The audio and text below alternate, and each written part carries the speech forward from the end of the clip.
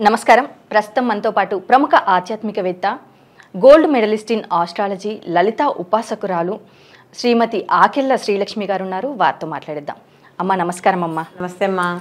అమ్మ కొంతమంది అమ్మవారికి కట్టిన చీరలు ఏవైతే ఉంటాయో అవి తీసుకొచ్చుకొని మరీ కట్టుకుంటారు. అమ్మవారికి నా స- సమర్పించిన బట్టలు కాబట్టి మేము కట్టుకుంటే మాకు అమ్మవారి దయ కలుగుతుంది అనేసి అంటారు. నిజంగానే అలా అమ్మవారికి సమర్పించిన బట్టలు మనం కట్టుకోవచ్చు అనేసి అని అంటారా? ఎలాంటి ఫలితాలు కలుగుతాయి అనేసి అని అంటారు అలా ఇప్పుడు అమ్మవారి చీర కట్టుకోవడంలో తప్పు అయితే ఏమీ లేదు. ఎందుకంటే అది ఒక ప్రసాద భావన. ఇప్పుడు గుడికి వెళ్తాం. అడిగి మరీ పూలు తెచ్చుకుంటాం. అమ్మవారి పాదాల దగ్గర ఉన్న పూలు ఏవో ఒక పూలు మనం తెచ్చుకుంటాం గాజులు తెచ్చుకుంటాం పసుపు తెచ్చుకుంటాం కుంకం తెచ్చుకుంటాం సౌభాగ్య వస్తువులన్నీ కూడా అమ్మవారి దగ్గర నుంచి మనం తెచ్చుకుంటాం. కాబట్టి అట్లాంటి సౌభాగ్య వస్తువులు ఎలా తెచ్చుకుంటున్నామో అమ్మవారి దగ్గర చీర కూడా తెచ్చుకుంటాం. మనం పెట్టిన చీరలు ఉంటాయి. మనం పెట్టని చీరలు ఉంటాయి. కొంతమంది ఏం చేస్తారు? మనం పెట్టిన చీరని తెచ్చేసుకుంటారు. అమ్మవారి దగ్గర పెట్టి మళ్ళీ పట్టుకో మళ్ళీ పట్టుకుని తెచ్చుకుంటాం. రెండు అమ్మవారికే సమర్పించే పద్ధతి. ఇంకో పద్ధతి వేలం వేస్తూ ఉంటారు. గుళ్ళల్లో మనకి. తక్కువ రేట్లకు వేస్తూ ఉంటారు. మంచి చీరలు వేస్తూ ఉన్నప్పుడు ఏం చేస్తారంటే వీళ్ళు తెచ్చేసుకుంటారు. అమ్మవారికి కట్టిన చీరలు అని చెప్పి కట్టుకుంటే చాలా మంచిది. మనకు శుభం కలుగుతుంది అని.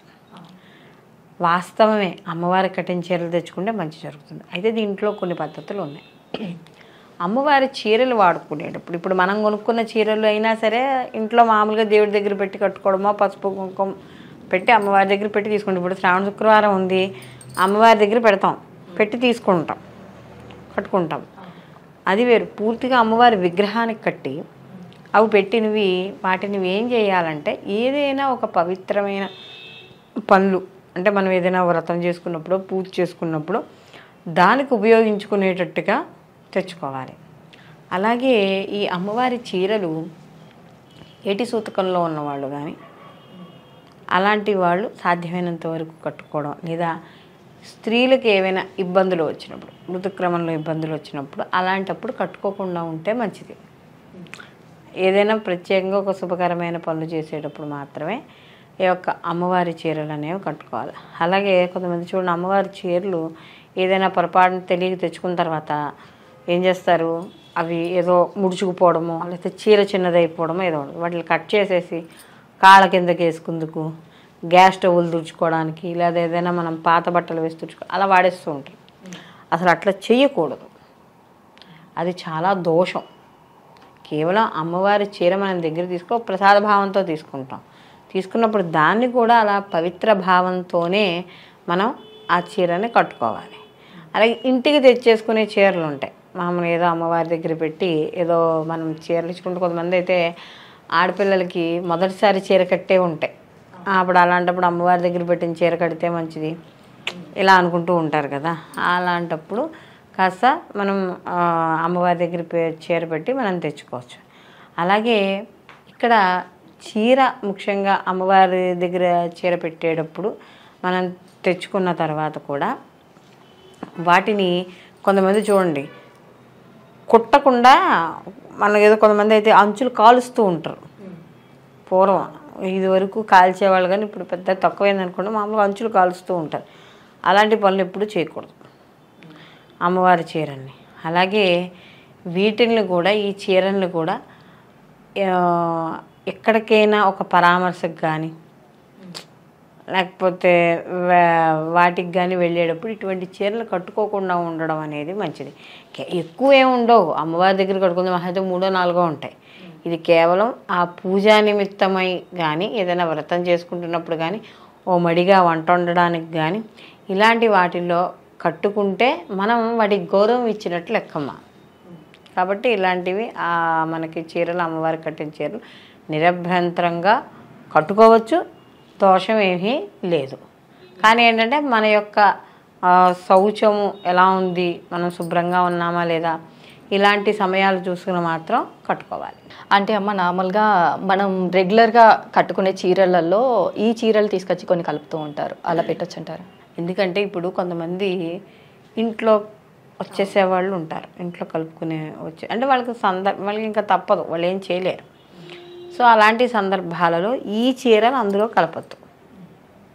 ఇవి ఇలాంటి ప్రత్యేకంగా మన సందర్భాల్లో అనుకున్నాం కాబట్టి కట్టుకునేవి. ఇవి విడిగా ముట్టుకోకుండా ఇబ్బంది వచ్చినా కూడా ముట్టుకోము అని అనుకున్నప్పుడు ఏ బీరువాలోనో ఎక్కడ అరమార్లో పైన ఎక్కడొక్కడ ఇబ్బందులు వచ్చినప్పుడు తగలకుండా రోజువారీలో కాకుండా పక్క బట్టల్లోనూ రోజువారీలోనూ కాకుండా విడిగా పెట్టుకుని వీటిని వాడుకోవచ్చమ్మా. అమ్మాయి అమ్మవారి చీరలు ఏదైనా ఫంక్షన్స్ కానీ ఏదైనా పూజా విధానానికి కానీ కట్టుకోమని చెప్పారు. కొంతమంది పెళ్ళిళ్ళకు కూడా కట్టుకొని వెళ్తూ ఉంటారు. మరి అలాంటి సమయంలో భోజనం చేసే సమయంలో నాన్ వెజ్ తింటారు. అలా తినొచ్చు అంటారు. అంటే ఇప్పుడు మనం అమ్మవారిది పవిత్రమైన భావంతో తెచ్చుకుంటాం మనం. తెచ్చుకున్నప్పుడు మన అశోచనలోనూ కట్టుకోకూడదు మనకి ఇబ్బందులు వచ్చినప్పుడు కట్టుకోకూడదు అని చెప్పుకున్నాం కదా. అలాంటప్పుడు అదే సమయంలో మాంసాహారం తినేవాళ్ళు ఆ పవిత్ర భావంతో ఎందుకంటే అది మనం ప్రత్యేకంగా ఒక ఒక దానికి ఏర్పాటు చేసుకున్నప్పుడు దాన్ని బయటికి వెళ్ళి కట్టుకెళ్ళడం ఓకే. ఇప్పుడు ఇంట్లో ఉంటే అది మంచి చీర అయి ఉంటుంది. బయటికి ఫంక్షన్లకు కట్టుకెళ్ళే చీర అయి ఉంటుంది అది మనకి. తప్పదు కట్టుకుంటాం. కట్టుకున్నప్పుడు దాని మర్యాద దాన్ని మనం కాపాడాలి. ఎందుకంటే అది మళ్ళీ ఒకవేళ నాన్ వెజ్ కానీ దాంతో తింటే ఒకవేళ మాంసాహారం కానీ భుజిస్తే మళ్ళీ దాన్ని తడిపి దాన్ని తడుపుకోవాలి. మళ్ళీ అది ఇంకా ఓ మనం అమ్మవారి దగ్గర నుంచి తెచ్చుకున్నది కాబట్టి దాన్ని మళ్ళీ ఇంకోసారి మనం దాన్ని వినియోగించుకోలేం. కాబట్టి సాధ్యమైనంత వరకు ఇలా పెళ్ళిళ్ళకి వాటికి వెళ్ళినప్పుడు ఇంట్లో వాళ్ళు కట్టుకోండి ఈ అమ్మవారి దగ్గర తెచ్చుకున్న చీరలు మాత్రం కేవలం పూజలు వ్రతాలు ఏదైనా నోములు ఇలాంటివి ఉన్నప్పుడు కట్టుకుంటే మనకి అమ్మవారి దగ్గర కట్టింది కదమ్మా దానికి ఒక శక్తి ఉంటుంది. ప్రతిదానికి ఒక శక్తి ఉంటుంది. కాబట్టి అది మనకి ఎక్కువ మంచిని అంటే మనం ఏదైతే ఒక సౌభాగ్యం గురించి ఒక మంచి జరగాలని చెప్పి మనం తెచ్చుకున్నామో ఆ మంచి అనేది మనకు జరుగుతుంది. అంటే దాని గౌరవం కూడా మనం కా ఆ చీర తల్లి దగ్గర నుంచి ఏ పర్పస్ అయితే తెచ్చుకున్నామో ఆ పర్పస్ మనకు నెరవేరడం అనేది జరుగుతుంది.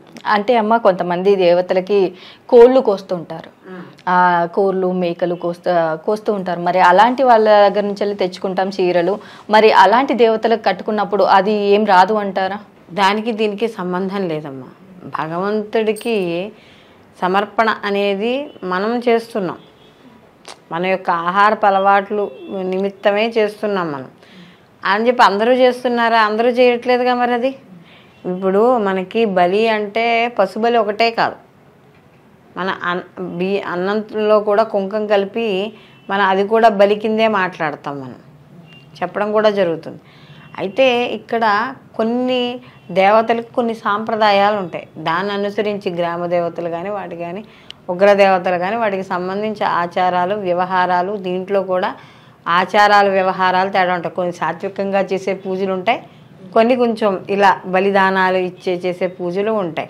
సాత్వికంలో చేసిన వాళ్ళకి కోరికలు నెరవేరుతున్నాయి. అందులో చేసిన వాళ్ళ కోరికలు నెరవేరుతున్నాయి. కాబట్టి దానికి దోషం ఏమీ లేదు. ఆ దేవతా స్వరూపం అంతే. అంత ఆలోచించాలి. మనము ఆవిడ తింటోంది కాబట్టి మనం తింటే తప్పేంటి? ఆవిడకి కట్టిన చీర అనేది మాత్రం మనం ఆ విధంగా ఆలోచించకూడదు. అది మాత్రం మనకు దోషమే అవుతుంది. అంటే ఇప్పుడు ఒక ఒకటి ఆలోచించమ్మా తిరుపతి వెళ్తాం గుడికి వెళ్తాం వెళ్ళి మనకు అక్కడ లేకపోతే లేకపోతే విజయవాడ లేకపోతే అమ్మవారి గుడికి ఎక్కడికి వెళ్తాం. వాళ్ళకి అక్కడ ఏదో గ్రామదేవతకో ఆ గుడి కింద ఏదో బలిలు ఇస్తూ ఉంటారు. మేకల్ని కోళ్ళని ఇస్తూ ఉంటారు. ఆవిడని ఇస్తున్నారు కదా అని చెప్పి నువ్వు నాన్ వెజ్ తిని గుడికి వెళ్తావా? ఓ ఉపవాసం ఉంటావు. లేకపోతే ఏదో ఉంటావు. ఉపవాసం ఉండి. ముందర రోజు కానీ తర్వాత రోజు కానీ నాన్ వెజ్ తింటావా? మరి ఆవిడికి పెడతాంగా. మరి ఎందుకు తినం మనం అంటే దేనికి ఉండే ప్రయారిటీ అనేది దానికి ఉంటుందమ్మా.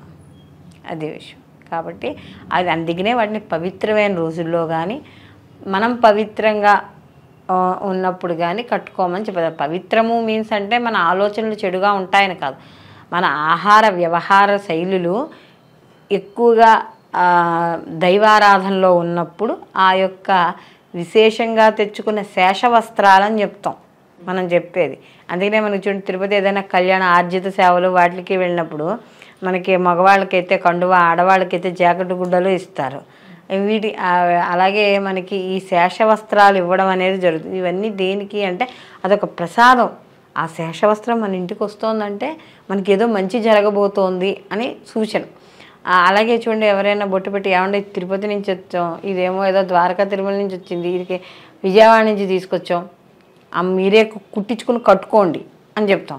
కలిశాల కలిసాల మీద పెట్టే చివరికి ఇంట్లో మనం ఏదైనా వ్రతం చేసుకుంటాం. ఆ వ్రతం చేసుకుంటే కలిసం మీద గుడ్డ కూడా పంతులు గారు మనకే ఇస్తారు. మీరు జాకెట్ కుట్టించుకుని మీరే కట్టుకోండి అమ్మా ఎవరికి పెట్టకండి అని. ఇవన్నీ ఏమిటంటే ఆ దేవతార ఆ దైవం ఏదైతే ఉందో దానికి ప్రత్యక్షంగా మనకి ఇచ్చే ప్రసాదాలు ఇవన్నీ కూడా. వాటిని దుర్వినియోగం అనేది చేయకూడదు. వాటికి అమర్యాద అనేది కలిగించకూడదు. అలాగే అమ్మ. అమ్మవారికి సమర్పించిన వస్త్రాలను మనం కట్టుకోవచ్చా? ఎలాంటి సమయంలో కట్టుకోవాలి అనేసి చాలా చక్కగా వివరించారమ్మా. ధన్యవాదం నమస్తే అమ్మా.